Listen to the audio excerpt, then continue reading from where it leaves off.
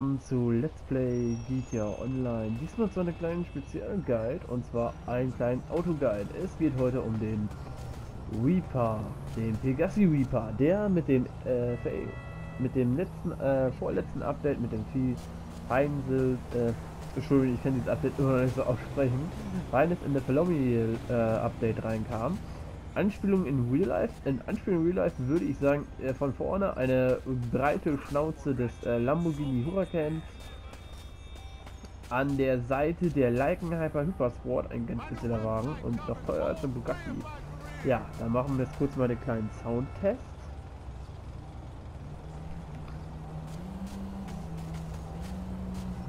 Moment, wenn er noch ins Auto einsteigt.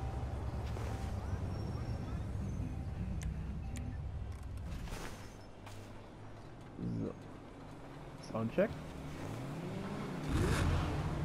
Ja, man hört das Brüllen. Es ist auf jeden Fall ein, ich will sagen, V10 Motor.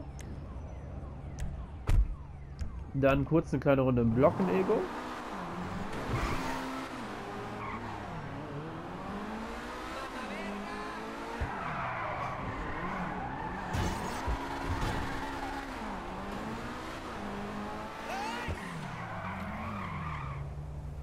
Ja, dieses Schmuckstück kostet, glaube ich, 1,2 Millionen.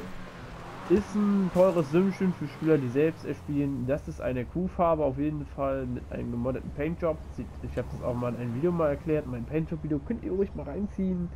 Wie gesagt, das ist jetzt eine kleine Folge Autoguide. Dieses wird Format wird wahrscheinlich wöchentlich so ein bisschen aufkreuzen. Ich werde jeden Wagen heute definitiv, ich werde Real-Life-Anspielungen nehmen. Und natürlich vielleicht auch mal technische Daten, würde ich mal sagen. Ja, und ich hoffe, es hat euch gefallen. Und wenn ihr noch weitere wollt, lasst uns ein Like da. Und ja, dann weiß ich, dass ihr ein weiteres Video haben wollt. Ja, und das war's dann wieder von mir. Euer Aventator LP, glaube ich, lässt euch immer wieder grüßen. Moment. Bis dahin.